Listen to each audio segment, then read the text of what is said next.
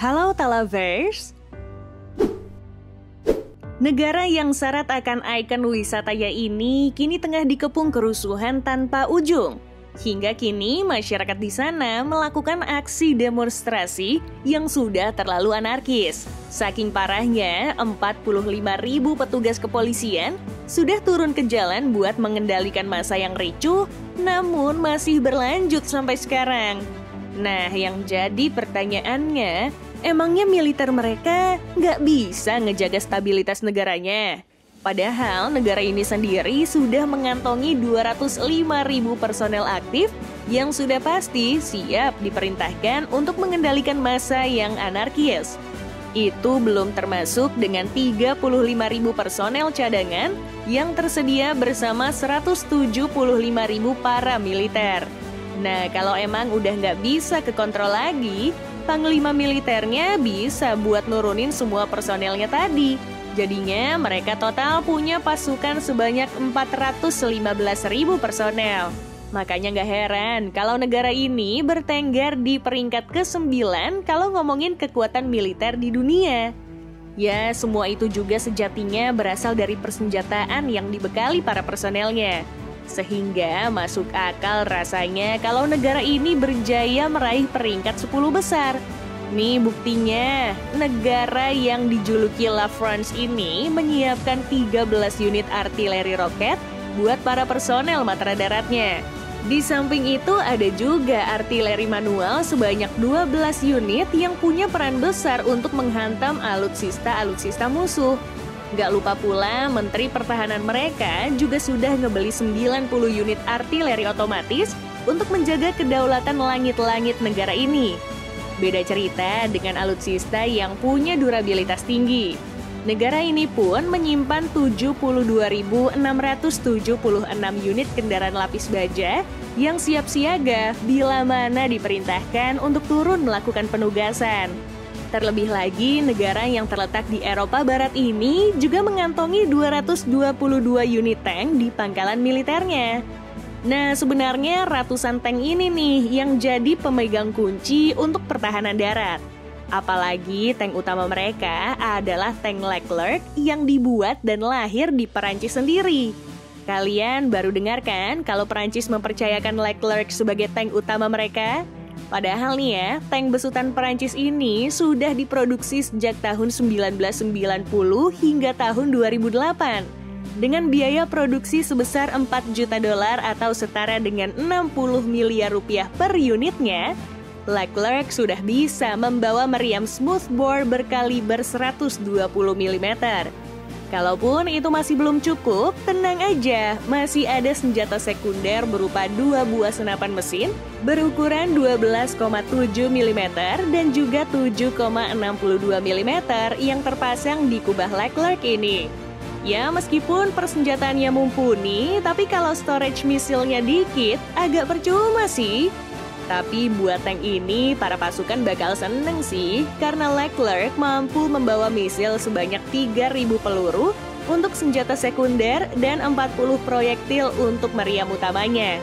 Imbasnya, tank ini harus menerima bobotnya yang cukup berat, seberat 57,4 ton.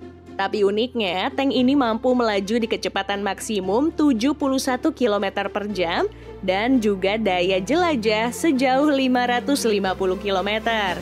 Angka segitu udah luar biasa banget sih buat kendaraan dengan bobot 57 ton lebih.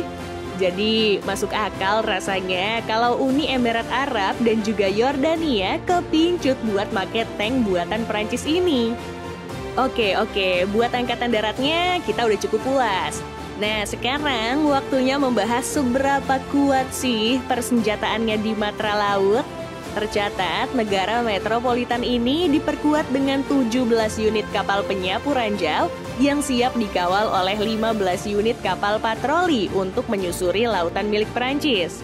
Sedangkan buat yang mengintai dari bawah laut, ada 9 unit kapal selam berbaris dan juga bersiap menghadang para musuh. Berbeda ketika laut negara ini udah dalam status siaga. Panglimanya pasti mengerahkan 11 unit fregat yang akan ditemani oleh 10 unit kapal perusak. Itu pun belum termasuk dengan kapal induk satu-satunya milik Prancis yang diberi nama Charles de Gaulle. Meskipun kapal induk Charles satu-satunya di pangkalan Matra Laut Prancis, tapi itu udah cukup berkat kemampuannya yang mumpuni. Bayangin aja, kapal yang dibangun oleh Naval Group ini mampu membawa 30 unit jet tempur dalam sekali jalan. Terlebih lagi, kapal yang dibangun sejak tahun 1987 hingga tahun 2000 ini juga membawa dua unit pesawat pengintai beserta lima unit helikopter.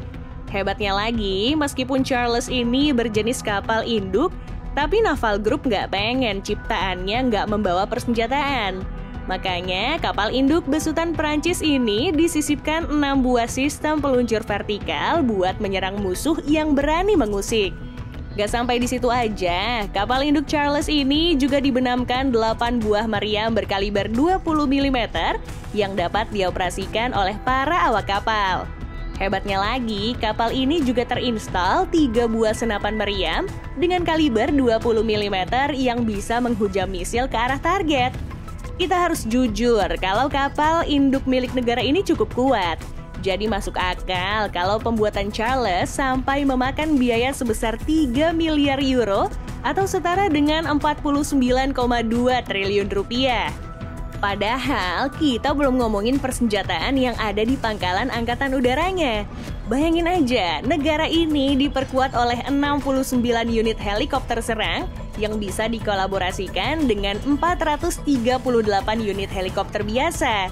Kalaupun masih kurang, tenang, masih ada 163 unit pesawat latih yang berdampingan bersama 114 unit pesawat transportasi militer untuk membawa para penerjun payung bersenjata. Nah, sedangkan buat yang berada di garda terdepan, sudah pasti Panglima negara ini mempercayakan 226 unit jet tempur untuk mengamankan pertahanan negaranya. Apalagi buat jet andalannya, Prancis punya Dassault Travel yang terkenal mematikan.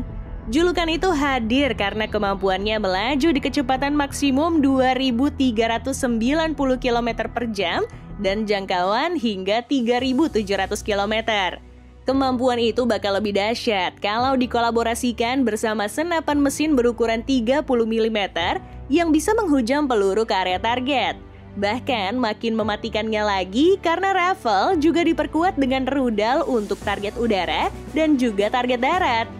Cuman karena kemampuannya ini nih bikin Ravel dihargai 79 juta euro atau setara dengan 1,2 triliun rupiah per unitnya. Jadi wajar aja kalau negara ini sampai ngeluarin dana sebesar 45,9 miliar US dollar atau setara dengan 689 triliun rupiah per tahunnya karena harga jetnya aja sampai semahal itu. Padahal itu belum termasuk dengan persenjataan-persenjataan di matra lain. Ya, meskipun persenjataannya cukup mumpuni, namun negara ini juga tetap punya sekutu bila mana Prancis membutuhkan bantuan. Seenggaknya negara ini berafiliasi dengan Amerika Serikat untuk urusan persenjataan peperangan. Terlebih lagi, India juga menjadi sekutu Perancis yang bisa menjadi penyumbang pasukan militer jika dibutuhkan.